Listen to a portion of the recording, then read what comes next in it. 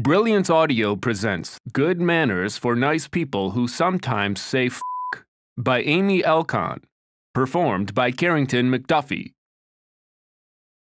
Getting the rude out.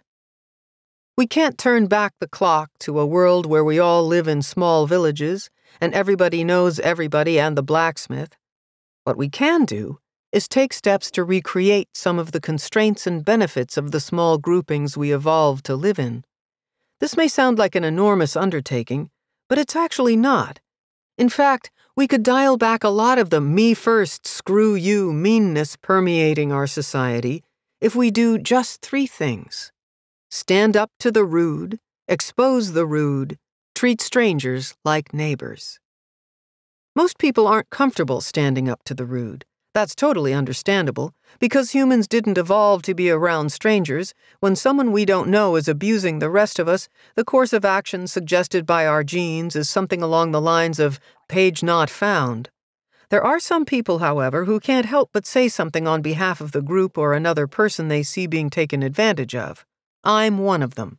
In economist speak, I'm a costly punisher someone who gets outraged at injustice they perceive and is compelled to go after wrongdoers, very possibly incurring some serious personal costs in the process.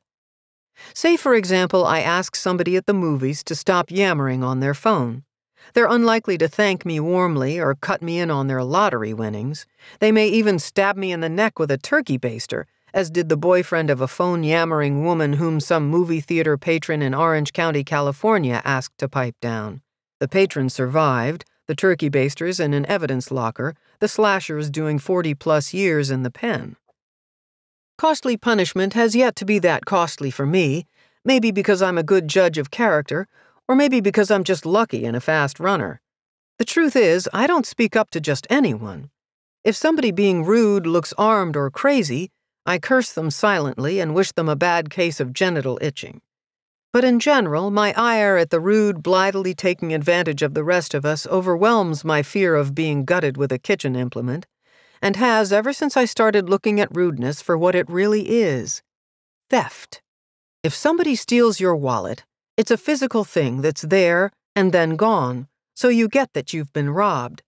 The rude, on the other hand, are stealing valuable intangibles, like your attention in the case of cell phone shouters who privatize public spaces their own. When somebody parks straddling the two spaces behind the dry cleaner, forcing you to drive around and hunt for a spot at a meter, they're stealing your time and peace of mind.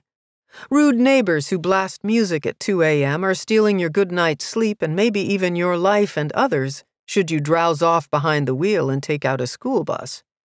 Letting the rude get away with robbing you emboldens them to keep robbing you, and the rest of us. We all need to start identifying the rude as the thieves they are, which is what it will take for more people to get mad enough to get up on their hind legs and refuse to be victimized. Exposing rude behavior to a wide audience is particularly important. In the modern strangerhood, when someone's abusing a person or group of people they don't know and won't see again, concerns about what it will do to their reputation are pretty much moot.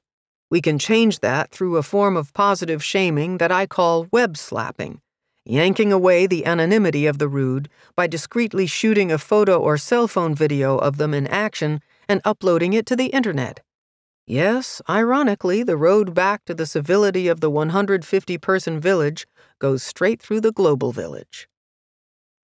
Web slapping is typically the best solution when somebody's egregiously rude when whatever they're doing reflects such a sense of entitlement that asking them to be more considerate will likely only result in their acting more rudely out of spite. Even if the particular rudester never learns of their ignominious star turn on the internet, the fear of being similarly exposed should deter other rude people from acting assholishly to the rest of us. We may have lost the built in peer pressure of a tiny world of people who all know one another, but there's a new sheriff out there and it's the YouTube video gone viral.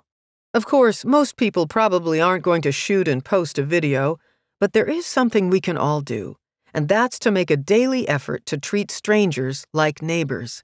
Smile at the guy passing us on the sidewalk, say hello to the cashier, do the small kindnesses that we would for somebody we know. Once you start, you'll see that this not only makes other people feel good, but makes you feel good too. As I explain in detail in the final chapter, Trickle Down Humanity, it turns out that it's actually in our self interest to do kind acts for others. Research by positive psychologist Sonja Lyubomirsky suggests that being generous to others is one of the main ways, along with expressing gratitude, that we can increase our happiness.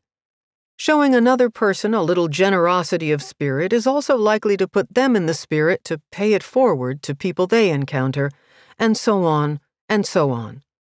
The way I see it, a bare minimum of one kind act a day should be our self imposed cover charge for living in this world. We get the society we create, or the society we let happen to us.